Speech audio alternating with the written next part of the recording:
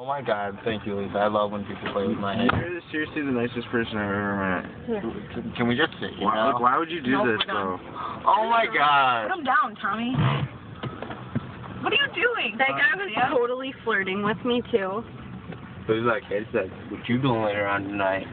Get a picture of me and Lisa. Yeah, take a picture of me and Tommy.